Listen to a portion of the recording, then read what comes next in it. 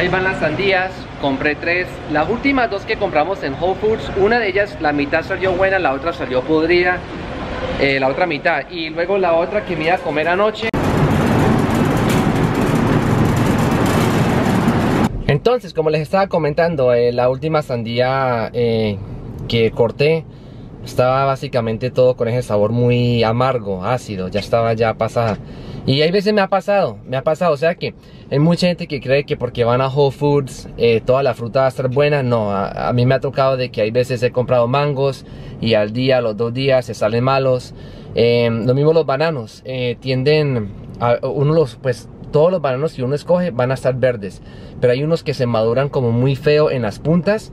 Y eso también me ha pasado y me ha tocado que botar mucha basura. Como mucha fruta a la basura de Whole Foods. Entonces, por eso hay veces prefiero ir donde los chinos. Y nunca he tenido problemas allá con los chinos. Sí, hermano, salió mala. Tocó que botarla, men. Sí, ¿y cuántas veces no, hemos, no se nos ha dañado la fruta y nunca llamamos la factura, men? Bueno, hasta ahorita no se ve mal, pero espérenme, corto un pedacito y ahorita les enseño. La hicimos, la hicimos, amigos. Está buenísima. Mm. Mm. Mhm. Yes. Bueno, ¿quién va a comer sandía? ¿Ustedes van a comer? Here we go. Ahora sí. Casi que no, me. Ah, No, pues usted A la hora que ya debería estar durmiendo yo todo Ya- tranquilo ya en mis cobijitas. Ya hubiera rezado, me hubiera echado la bendición y. Usted sí reza antes de acostarse. Pues sí. ¿Sí? Mm. Le gusta orar. I pray to the new gods in the old. Games of Thrones, right? Game of Thrones. ¿En qué episodio vas? El 1. no. oh, no, terminé el 1. Pero tú te viste el uno conmigo, men. Ya, pero lo vi hace mucho tiempo y me tocó que repetirlo. Ah, no, estamos mal, men. No sabe lo que se pierde. Hágale. Me provoca hasta decirle qué es lo que pasa. No, no, no, no, no, no. Yo sé que Jon Snow resucita, Ajá. Pero. Pues eso es lo más importante del show. ah, Ok, entonces no me diga nada. Y los dragones también. No, diga, no me diga nada de los dragones. Yo sé que hay dragones, pero no me diga nada. Mejor contes- contestemos preguntas. Ok. Y relajadamente. Preguntas de Instagram. Con Yaya. No, no, ya. Cuando Lilian Mi- Millán pregunta, ¿cuándo es que vienes a México? ¿Pronto? Pronto. Supuestamente ahorita vamos a comprar los pasajes. Ajá, coming soon. Vamos a ver si no, si no nos da pereza para hacerlo ahorita. O si no mañana, ¿cierto? Um, y Renter pregunta, hola muchachos, ¿cuál fue la travesura más grande de adolescentes? ¿Cuál fue la tuya? Uf, Una travesura. una travesura. Hmm, Como un adolescente. sí, Ah, yo tuve muchas. yeah. Yeah. Una, una que, que me llega a la mente Ajá, fue ajá, que ajá. en, en el vecindario donde yo vivía, había, yo tenía muchos amiguitos de mi edad. En ese entonces yo tenía por ahí que unos 7, 8 años. Ah, no, ya se Para hacerlo bien cortico, me escapé de la casa. ¿Se escapó? Bueno, no me escapé, me volé por, un, por unas buenas, unas 4 horas. Sin que mis padres supieran dónde estaba. ¿En serio, men? Yeah, apenas llegué a la casa yo ya sabía lo que me esperaba. sí. ¿Que le, le dieron correa o qué? Ajá. Ah, o pura chancla. Yo no sé, pero al- O, algo, o combination. eso pareció pura karateca mi mamá. De verdad, se encendió. Puro ninja, pues. Bueno, entonces- tampoco, pero ella no, no es que pegaba duro, sino que. No, para ya nada. medio le hacía así y uno lloraba. Mucha nena. Ajá. No, lo peor era el mister. El mister. Uh, el mister no le tenía que tocarle. El mister llegaba así. no tenía que tocarlo a uno. No, el mister llegaba así. Uf, con esa mirada. Bueno, ¿y qué pasó aquí? Ya con eso usted ya como No, no, no. Bueno, sí. Y cuando le alzaba la que... No, voz. tengo una historia muy buena. Iban mis amigos a la casa y mis amigos llegaron a un punto en el cual no querían ir a la casa porque le tenían miedo al mister. Hay una cosa que sucede, que mi mis- mister es buenísima gente, men. Él, o sea, verlo enojado y aburrido así, no, nunca. En el último, penúltimo video la gente preguntó que qué le pasa con Brian. que está enojado. en- en Ah, video. no, sí. No, es que usted no entiende. Esa la- Hasta cuando yo, de- hasta cuando yo estudiaba en bachiller, la gente decía, ¿por qué está enojado? ¿Por qué tan serio? es que así es la cara mía. Y el Y de mi papá, y y la cara de mi calor. papá, y la cara de mi papá también es Y igualitica. con ese calor también. de que, de que está haciendo? No, cuando, cuando estamos así quietecitos, haciendo nada, concentrados, parecemos como si estuviéramos enojados, pero no es así. Son así ya. Espera, man, incapaz. Espera, son. No sé. Estás trabajando en el escritorio. ¿eh? ya estoy acostumbrado. Dígame que parezco enojado, pero la verdad es que no. Pero eso le da respeto, Brian. Ah, sí. Eso le da respeto. Así, Eso, Así respeto. nadie, así nadie se lo come, Así chino. nadie me, me puede parrandear. Nadie se lo parrandea. Mm, mm, olvídese. Ok, um, Sally M. Oye, ¿qué opinas de Pink Slim? ¿Eso qué es? ¿Qué? Pink Slim. No, sa- no sabemos qué es. Um, eh, Florecilla, saludos desde España. Saludos. Eh, ¿Qué más hay por aquí? Um, hello, Te- hello Tejo Yellow. Mire, Dice, thanks for making my day happier than it already is. You are the cherry on top. Ok. Tómele foto a esto y póngalo por todo lado para que se burlen de Ronald. ¿Cómo me van a ¿Ustedes no vieron la foto que colocó en Instagram? Es que yo con la boca abierta ahí como si estuviera... Era la única foto que tenía. el Única foto. Ahorita me mostró que tenía un montón más. Sí, pero estaban más para arriba, men. Tengo como mil y pico de fotos y esa fue la que, la Es que que con la boca abierta. No, hermano. Pero tiene muy buena dentadura. Pues ni se me ven los dientes, ¿o sí? Yo no sé. Sí. ok. um, a ver, dice Jess, Jess Herrera. ¿Qué tal? ¿Puedes hablar de los diferentes granos secos, lenteja, frijol? ¿Cada cuánto es bueno consumirlo? Bueno, nosotros comemos mucho frijoles. Cada y garbanzos y lentejas. Todos los días. Todos los días. casi Todos los días, ¿no? comemos Hoy algo así. comimos frijoles. Ayer Frijoles. también. Y frijoles de esos que son eh, rolos. Un frijol rolo de Colombia. Estuvo buena esa sopa de frijoles. Yeah, man. Wow. Um, Lentejas también comemos. Eh, Margel, Irlanda. eh, ¿Cómo fue su primer beso y cuántas veces se han enamorado? Ah, eso es privado, hermano. Ah, no no. voy a contar. Bueno, Cuente usted. pues yo ya lo conté en un video. Sí, yo no quiero contar. Bueno, entonces no contemos eso. en todo caso, el primer beso uno ni sabe cómo besar. Uno es como poniendo los labios ahí y uno ni sabe qué es lo que está haciendo. Así fue mi primer beso. Y nervioso también. Um, Smon Roy 4 llega y dice, ¿cuándo fue, ¿cuándo fue cuando te dedicaste a, o te inspiraste para hacer un cambio alimenticio en tu vida? O sea, ¿cuándo fue? ¿Qué- ¿Cuándo fue ese momento que tú dijiste voy a cambiar mi, mi ¿Yo? alimentación? Ya, tú. Pues yo ni lo pensé, solo ocurrió y ya. Empecé a hacer batidos por la mañana.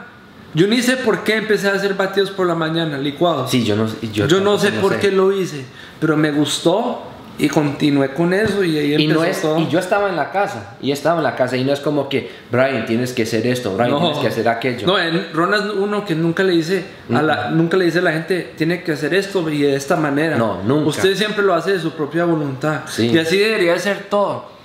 Ustedes que le quieren, yo sé que muchos de ustedes quieren darle consejo a su familia que deberían de comer de esta manera o de esta, no lo hagan de esa manera.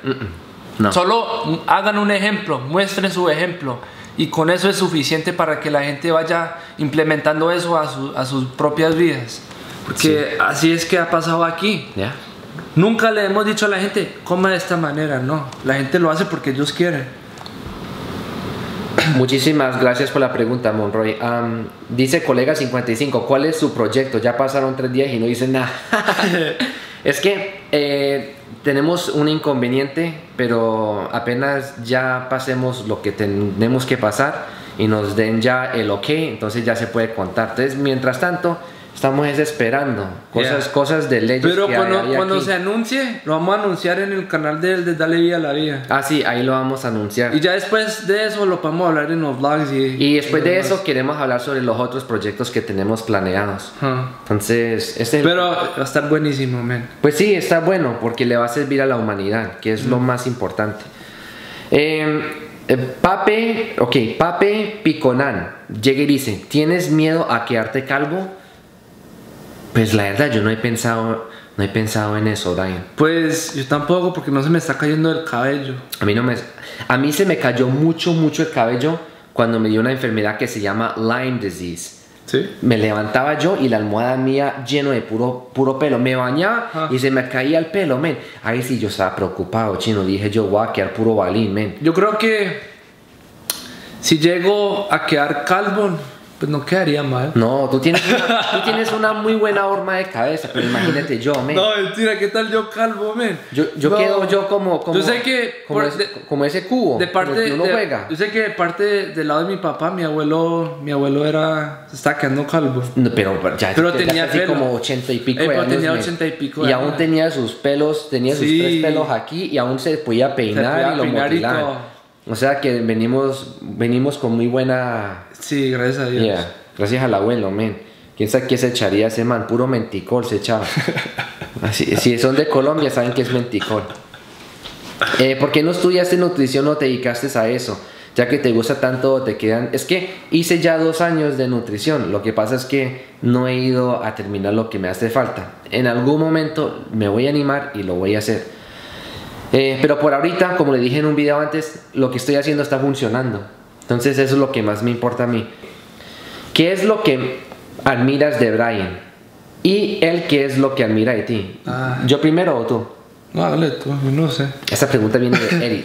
Lo que más admiro de Brian es que él es súper honesto y nunca miente. Yo nunca he visto a Brian mentir. Y eso se lo puedo decir con 100% de seguridad.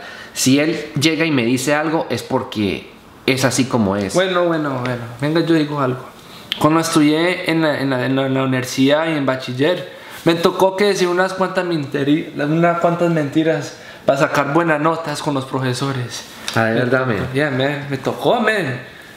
Ahí fue la única vez que mentí. Bueno, la verdad, usted no es que sea pues siempre... No, pero cuando va a cosas como más personales y eso, yo no miento. y- Sí, la verdad, no. Ya, porque eso tarde o temprano lo descubren a uno. Me gusta la honestidad de Brian. Yeah. Eso es lo que me gusta. Ok. Y yo, y yo a ti, ¿qué admiro? Ja, Muchas cosas. Me mantiene alabando todos los días, amigos. Ja. Ah, ¿Cuándo vienen a Tijuana? Pues, Tú- Ya no, eso queda en San Diego, ¿no? sí, Ah, ya no creo que vamos a ir. a Tijuana. No, pues quién sabe cuando nos mudamos por allá para los Californias. Mucha gente nos pregunta que fin a dónde nos vamos a mudar. Es que vamos a estar en muchos lados, si Dios quiere. Eh, hola Ronald, quiero saber si se puede hacer eh, primero la, la semana 3 y luego las... Todo en orden. Si van haciendo las 52 semanas, todo en orden. Ronald, ¿qué piensa del divorcio?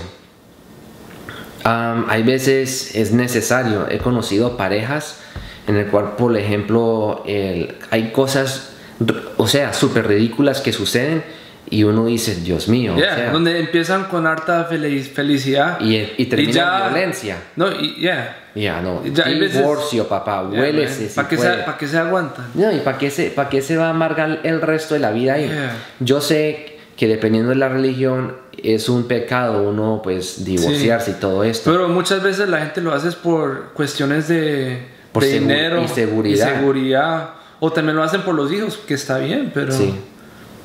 a veces I don't know, man. Ok, um, 1919 a, Ji- a, Jenny- a, a Jelinka 86. Do you guys ever crave the junk food? And the juicer that you guys have, the gray one, is it easy to clean? Yes, it's the Breville juicer is very easy to clean. Now, do we crave junk food? I don't. What I kind of junk food? I mean, Like junk food. cheeseburgers and all that stuff? Yeah, that's No. pretty much junk food, no? No. I don't crave it. I don't crave. I basically eat. Yo tuve, cuando primero empecé a cambiar la dieta, I sí me da cravings o, ¿cómo se dice craving en español? Ansiedad, antojos, Ansiedad, antojos. de comer comida chatarra. De comer comida chatarra, pero todo eso se fue. Sí. Ya, ya uno se le olvida, ya, y al cuerpo se le olvida de esas cosas. Sí. Man. Ok, refractario, llega y dice, eh, ¿cuánto duran los cambios de la flora intestinal? Uno lo sabe, porque cada vez el cuerpo te va pidiendo más sobre unos alimentos. ¿Escuchaste lo que dijo Brian al principio? Él simplemente incluyó más licuados y la dieta le cambió. Ahí es cuando uno sabe cu- cuánto se demora. El, el- el- el paladar cambia. Ven las personas que han hecho las 52 semanas de desintoxicación. Trato de incorporar diferentes cosas que tarde o temprano el paladar cambia. ¿Pero por qué cambia el paladar? Es porque nosotros somos básicamente 90% microbios. Y si, y si los microbios cambian, ya empiezan a pedir otro tipo de alimentación. ¿Sí es? Entonces, Ahí está la clave de todo. Auris Bravo, situación. Tienes hijos y en casa comen saludable. No junk food. Van a una fiesta de, de comer, hay pizza, cupcakes, candy, etc. ¿Tú qué quieres que tus hijos coman saludable, pero no quieres que se sientan diferentes a los demás? ¿Qué harían? ¿Tú qué harías, men? Pues yo le enseñaría a mi hijo que comiendo de alguna manera diferente no debería sentirse uno diferente a los demás. Mm. Yeah. Que se siente diferente a los otros. ¿O no? Pues depende, o sea, si mis hijos... No, van- pues sí, la mayoría van a estar comiendo de alguna manera. Sí. Después lo van a, de pronto lo van a ver todo raro y preguntándole por qué come de esa manera. El niño, ¿por qué come de esta manera? Yeah, Tienes razón. ¿Qué haría uno? ¿Qué haría uno? Bueno, entonces yo me, ya me estoy imaginando que mi hijo lo dejé en una fiesta Ah. y, y ahí donde él está hay mucha comida que él de puede que no le guste. Entonces todos los niños le preguntan, hey, hey, ¿por qué no comes? ¿Por qué no Enseñarle al comes?" niño por qué no debería uno comer de esa manera para que le explique a los otros niños o qué. Ah, sí, o un pero niño sí será capaz de explicarle a otro niño de no eso. sé. Yeah. No, la única cosa que tiene que decir es que así fue. La única cosa que tiene que enseñarle uno al niño es, es enseñarle a que el niño le diga a los demás que, hey, this is just the way I was brought up. Así fue Yeah. que yo nací. Y dígale, it's healthy. ¿Sí? No tiene nada malo de uno comer saludable. Sí, nothing wrong Yeah. in being healthy, ¿sí? Yeah, o sea que... Ya, pero con, con que le diga a los otros niños que esta fue la manera en la cual me criaron, ya todo el mundo ya entiende. Pero si uno dice que oh, esto es healthy, entonces ya, los otros niños ya le cogen rabia porque dirán, ¿Será? ah, después pues ya sabes Ah, cómo los niños". sí. Entonces es mejor que le diga a los otros niños, no, es que así fue que me criaron. Entonces ya todos los otros niños ya dirán, ah, ok. You know? Ok. Um, consejos nutricionales y de ejercicio para estudiantes con poco tiempo. Uf, eso es verdad, comer. ¿Cómo, cómo, cómo? ¿Se acuerda del tema que hablamos con los, con, con los estudiantes de arquitectura el domingo? Yeah. Consejos nutricionales y de ejercicio para estudiantes con poco tiempo. Es difícil, men. Yo le digo una cosa. Es que hay muchos estudiantes que les queda difícil hacer Ok. ejercicio o hasta el- comer saludable. Tienes el estudio, ¿sí o Yeah. no? Y tienes supuestamente el- el- la comida y esto. ¿Cuál de estos tres es más importante? Bueno, mire, yo me pongo en mi posición cuando estudié.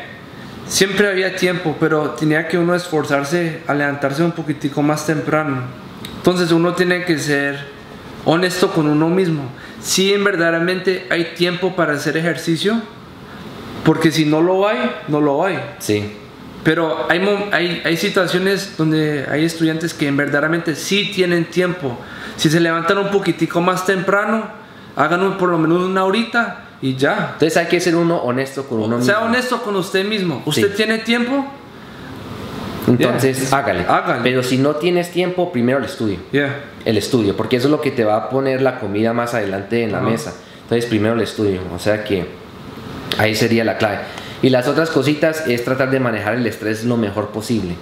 Y así pues uno ya se evita uno de comer mucha comida de afuera y cosas así. Um, ¿Cuál es eh, vuestro libro favorito en el área de nutrición y desarrollo personal? Bueno, eh, pues un libro que siempre mantiene aquí es este y esto ya lo he mostrado más de una vez. Aquí mantiene pues cualquier referencia. Este, este libro mantiene por toda la casa. O sea que tomen nota si lo quieren comprar. Es un esto es un libro médico, esto es muy muy común. El autor que siempre digo, Guyton and Hall. Um, Liz Toral, eh, ¿por qué crees que a una persona como tú, tan saludable y de repente buenos sentimientos, es más difícil encontrar una pareja?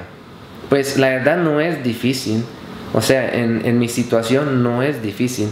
Um, no, es, no es difícil, la verdad que no, no es difícil. Yeah, uno no se debería enfocar que, que la otra persona tiene que comer de la misma manera.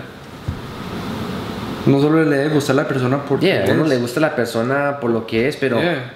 es difícil yo creo que para una persona que simplemente quieran encontrar una persona que tenga básicamente todo lo que a ti te gusta. Entonces, en el caso en el mío, pues no pienso estar en relaciones así como de novios hasta el próximo año, porque recuerden, ya lo vengo diciendo, tengo proyectos y muy pronto se van cumpliendo, entonces ya, ya queda como más tiempo, ¿no? Lisa22 llega y pregunta, ¿han pensado que pueden hacerse coaches para mejorar vida de los... ¿Tú, tú has pensado en ser un coach? No. No, tampoco. Yo tampoco. Leti BB10, ¿alguna vez alguno de los dos pensó en casarse? hace un par de meses en matrimonio. Pues no sabría decirte. Yo creo que yo, Yo creo- creo Ah, no, hable tú primero. Yo creo que cuando unos, uno ya, cuando está en los años de, digamos, high school, después de high school, uno se enamora muy fácil. Hmm. Y uno cree que esa, uno se tiene que casar es de una, pero eso es, no, man. Uno debería esperar, coger más experiencia en la vida. Sí, sí, man. sí. Pero yo no me pienso casar todavía. No, yo tengo muchas cosas que quiero hacer antes de casarme. Creo que cuando uno está en una relación uno si está de novios con una de novios con, con alguien um, yo creo que es porque usted de pronto más adelante ve la posibilidad Ah, de un matrimonio Sí. o si no para, para qué estar de novios la verdad, si uno ya está en una relación y ya han durado un- varios meses, es porque Sí. usted cree que esa, esa puede ser, sí puede ser puede ser la suya o, o ese puede ser el suyo. Pero si no dura tanto tiempo, entonces significa que no, ¿cierto? ¿Mm? significa que no Sol Serván llega y dice se puede seguir una alimentación alta en fruta y baja en grasa aunque la persona no haga ejercicio debido a una lesión o no es muy recomendable. Pues si una persona tiene una lesión, yo en- volvería a incluir un poquitico de más, dependiendo de cómo sea la lesión, más proteína, De más animal. grasas. Oh, no, prote- proteína en general, en, en general, preferiblemente que venga de origen de vegetal, de plantas, digo. Pero eh, esa pregunta es muy buena porque, Brian, ponte a pensar. Mm. Si una persona no hace tanta actividad física, ¿tú crees que puede comer mucha fruta? O sea, provoca comer mucha fruta. No. A mí la verdad me provoca comer fruta es cuando... Bueno, ahorita acabé de comer fruta después de un ejercicio. Mm, Y porque no es tan pesado y ya estaba tarde. Sí. Y, Y- tiene bastante contenido de agua. Entonces me calmó la, la sandía que comí. Ya está buena. Eh. Sino que hay personas que creen que deberían de llevar siempre una dieta alta en frutas y bajo en grasa. ¿Por qué? Yo no, pues, y comen fruta simplemente porque le dicen que se debería de comer la fruta y se meten en ¿Sabe? muchos Yo nunca problemas. me, yo no me enfoco en nada de dietas ni nada de eso. Yo como lo que me provoque. Ahí está, escuche Yeah, el cuerpo, man. Escuche el cuerpo, eh, son. Eh, ¿Cuál era la comida favorita de Yaya antes de cambiar el estilo de vida? ¿Y cuál es la de ahora? Uh, la comida que me gustaba antes eran las empanadas colombianas. Pod- Verdad, Yo podía gustaba. comerme, podía comerme unas, uff, no hermano, yo me comía mucho. Digamos que sean de- del tamaño normal, si saben cuáles. Me comía por ahí unas dos empanadas sin mentirles. Sí, comía Yeah, empanadas, man. Uf, y Había que tenerle- tenerles miedo, Yeah, man. me gustaban mucho. Si ustedes no alcanzaron a agarrar una empanada, téngalo por seguro que ya cuando ustedes van a mirar ya no hay nada, men.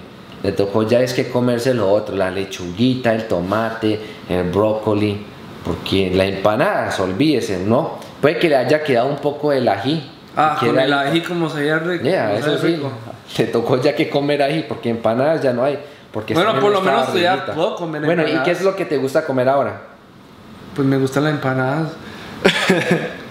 Todavía. Todavía, pero las Ah, veganas. Las veganas que fuimos allá. Las de Julia son muy buenas, ¿no? Yes, le encanta. Eh, Ah, última pregunta, Mariposa Azul 73. ¿Cuál es el significado de la vida para ustedes? Con esa terminamos. el significado de la vida. Para mí es uno sentirse con un propósito de hacer algo en su, en su vida. Tener una pasión por algo. No solo que pase todos los días y que uno se sienta como que uno no está haciendo nada ni progresando. No quedarse estancado siempre en lo mismo. Uno tiene que tener sus metas, tener algo en que uno puede. Yeah, does that make sense? Sí, Right? sí. Yeah, solo tener un propósito en su vida. Yeah, that's Ok. it. Y uno con teniendo esos propósitos en la vida, uno va a estar bien feliz. Porque si uno llega a tener un trabajo donde uno no está contento ni nada, uno no va a estar feliz ni nada. O si uno está estancado con esa persona que lo pone uno De mal genio, ¿qué? de mal genio, ya. ¿Para qué? Es la verdad. Yeah. Yo no sé. Am, y pues para mí el, el significado de la vida, pues no tengo algo como en concreto que yo diga, oh, esto es lo que es, pero sí puedo decirle qué es lo que yo veo de la vida hasta ahorita. Es que si usted mira muy bien de qué está hecho el cuerpo, está básicamente hecho de la tierra, ¿no? De todo lo que existe ya en la tierra y viene junto con eh, una sabiduría, eh, viene con, junto con un alma, con un espíritu, eh, con algo que ya viene desde hace yo no sé cuánto tiempo más allá. Y viene, o sea, para mí Dios, Dios, ¿no? Entonces, entre más rápido uno se dé cuenta de que uno viene con eso por dentro, ya uno ya empieza a ver el significado de la vida de una diferente manera. Entonces, eh, ¿de qué diferente manera dirán ustedes? Pues la situación como está hoy en día, pues uno tendría que decir que muchos de nosotros somos privilegiados, ¿no? Entonces, han fallecido tantas personas y la tierra se ha reciclado tantas veces que lo más seguro nosotros ya somos parte de otras partes de otras cosas, ¿no? En términos del físico. Y tenemos que tratar de aprovechar toda esta energía que hemos recibido al haber nacido y aplicarlo para algo mucho más grande. Así como somos mucho más de lo que somos físicamente, deberíamos de tratar de exponer nuestra energía a cosas mucho más grandes y abrir la conciencia de los demás, a dejarse en ellos saber de que pueden hacer muchas de las cosas que se han imaginado, pero darse cuenta de que siempre y cuando usted se entregue al más allá, usted ya puede realizar cosas más grandes. Ah, yo creo que me compliqué. Pero bueno. se me subieron los pelos. Sobre todo, sobre todo, pero sí, es, es lo que pienso, es, es, es, venimos ya de tan...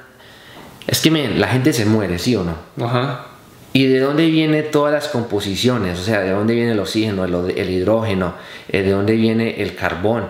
¿De dónde viene el nitrógeno? ¿De dónde viene el fósforo? ¿De dónde viene el azufre?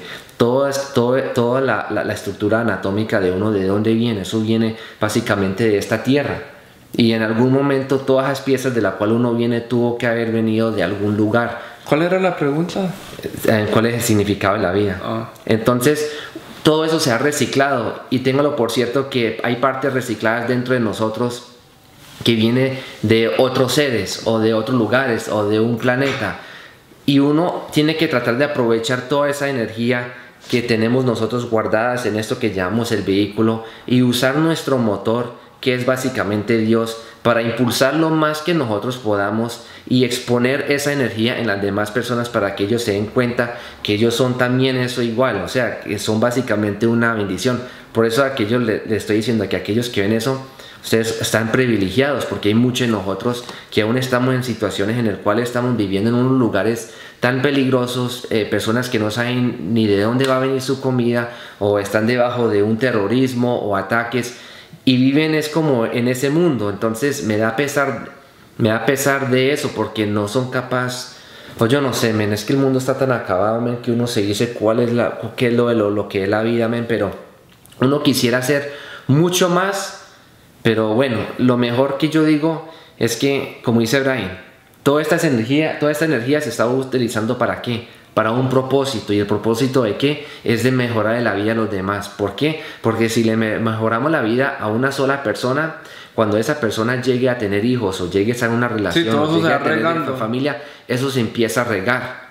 A regar y a regar y a regar. Y cuando al fin y al cabo se dan cuenta cuál fue la esencia de todo esto, no fue, como dije yo en unos videos antes, no, no fue una etiqueta, no fue tanto una religión, no fue tanto el, eh, eh, o sea, todas esas otras cosas que nos meten hoy en día con las noticias y el dinero y la media y esto, fue solo una cosa y fue el amor.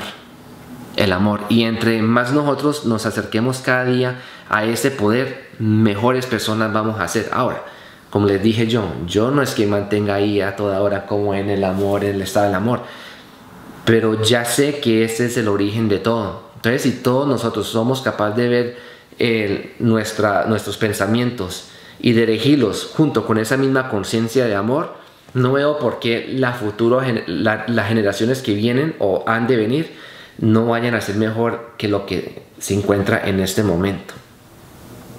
Algo así, es el significado de la vida. Y bueno, al fin y al cabo, pues para mí esto es como algo pasajero también, ¿sí o no?